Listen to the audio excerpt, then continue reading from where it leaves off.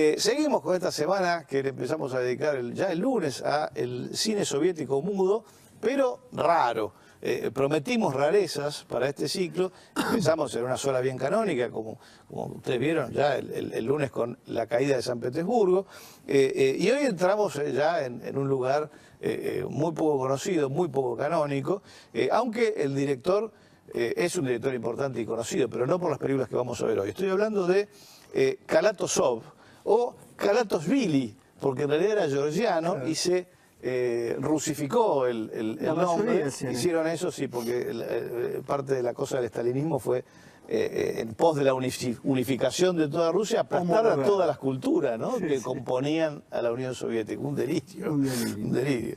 Que Este, vamos a verla, vamos a verlo un poco eso en cierta medida. Exacto. Eh, eh, este es un hombre que nosotros hemos recorrido acá en el, en el programa a través de, de clásicos suyos como La Carta No Enviada, por ejemplo, y sobre todo Pasaron las Grullas, una obra maestra absoluta. No dimos nunca, pero podríamos dar alguna vez Soy Cuba, una película rarísima que hizo.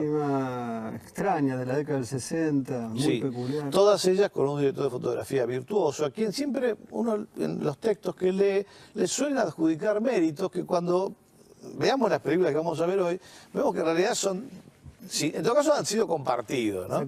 Eh, Karatozov era realmente un grande, este director de fotografía también lo era Urusevsky, pero Urusevsky no trabajó con él en estas películas que vamos a ver hoy, y sin embargo son dos películas eh, elaboradas con un grado de imaginación formal absolutamente extraordinario, y eh, bueno, eh, en los momentos eh, verdaderamente dramáticos, ahí donde hace falta que eh, eh, el, el gran traveling, por ejemplo. ¿no? Esa cosa que uno tiene ya la sensación de que el traveling lo inventaron los rusos, porque es impresionante lo que han hecho con la cámara móvil. Eh, sí, eh, todo han inventado, lo impresionante. Bueno, lo que pero- sucede con el montaje también es extraordinario. Digamos, es una película, los travelings, los contrapicados, o sea, cuando la cámara está desde abajo hacia arriba, los picados, todo es una ¿Y los, y dimensión los visual. planos ametralladora? No, es... ¿Qué pasa con eso? Hay varias de las películas que está- vamos a ver esta semana que es, son planos de un fotograma, o sea, tomas que duran un fotograma alternando con otra toma también de un fotograma y superpuestos, ta, ta, ta, ta, ta, como una ametralladora. Y de hecho se de, escucha. de varios segundos, es una cosa demencial. Se Sí, ven, como- si uno se pone a mirar, si uno detiene la imagen, ahora con la tecnología digital se puede, ve la cinta de encima del. No, la cinta de encima no se usaba, pero el empalme lo ve, porque no hay cómo no verlo, porque la única forma de empalmar un fotograma con otro Era- era poniendo algo detrás que lo sostuviera, ¿no? Una cosa de locos. Que surge, creo que de la falta de recursos para filmar también, porque es imaginación absoluta eso. Pero, eh, totalmente, pero además, eh, yo no- realmente es increíble, yo me imagino cómo se concebían estas películas, ¿no? Porque esos planos que estás haciendo referencia de las ametralladoras, que es la película que vemos, vamos a una... de En esta hay algo igual así Sí, también. pero la otra es constante. Cuando, cuando abren, porque bueno, vamos a hablar ahora de la película, pero hay un momento donde viene lo que sería la civilización eh, y viene así, Sí, sí, viene sí. empujando de esa forma a Ah. través de la, de la, esto, de la, de la idea cinematográfica visual. Ahora, eh, ¿cómo concebían, cómo se escribía esto? Esto es para mí la, La incógnita, la ¿no? incógnita, ¿no? Porque no es algo que solamente se puede resolver en el montaje. Para poder resolverlo en el montaje tienen que haber pensado muy detenidamente cómo iban a registrar una cantidad de cosas que yo me pregunto luego cómo pensaban estructuralmente la película, porque esto es lo más raro. Es un cosa- misterio porque de hecho hay muy poca documentación sobre buena parte del cine soviético, lo decíamos en un, en un programa anterior. No solamente en, en inglés o en castellano, hay poca documentación en el cine soviético en la Unión Soviética, en Rusia, ¿no? Y, de hecho hay zonas de la biografía de Karatozov que son misteriosas, son Sí, sí. desconocidas. Eh, estas dos películas que vamos a ver hoy eh, son películas que no se habían difundido previamente, se sabía que existían, pero nadie se había molestado demasiado en pasarlas. Alguna tuvo algún problema de censura en su momento, lo que seguramente también alentó a que durante años No no se las viera.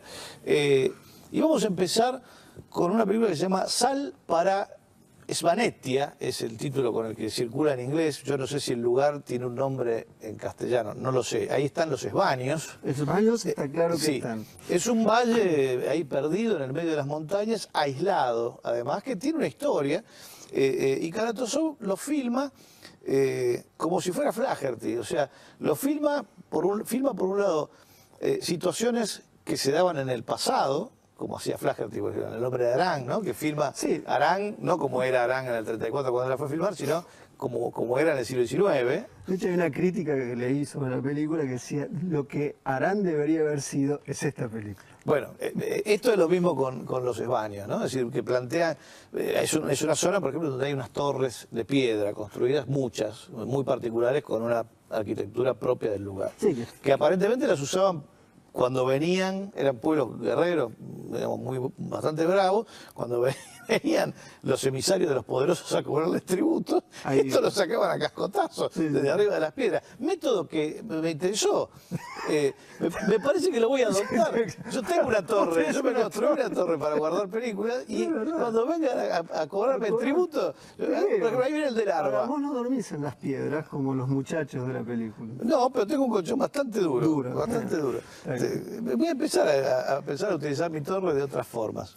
En parte del tema de la película es esto, digamos, es un, un mundo que parece detenido en el tiempo, que ni siquiera podemos decir es feudal, es más allá de lo feudal, y lo que de algún modo está por detrás, la, viene la, civilización, la nueva civilización, el nuevo hombre. Viene el progreso, Viene el progreso. Y el progreso se siente fundamentalmente en un momento con el tren. En estas películas decíamos, el tren Es importantísimo. Es, importa- es más que un símbolo de movimiento eh, físico para transportar personas o, mercancías, sino que es, es la, el futuro que arrasa, que camina, que lleva, que mueve.